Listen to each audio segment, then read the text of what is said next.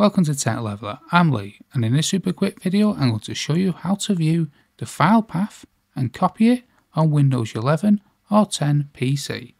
So let's open up File Explorer here on the taskbar and let's come to desktop here and then let's see this send to Mac here. If you want to copy the path of this folder you can right click and you can see copy as path and then you'll be able to paste that path into anywhere on your PC. We can go into the folder and now if you want the path to be directly into the folder like this, you can copy on the taskbar here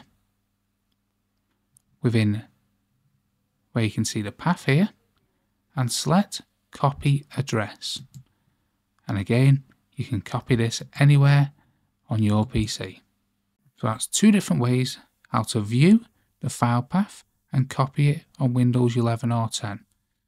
If you always want to see the file path like you do here, then check out this video here where I'll show you how to do just that.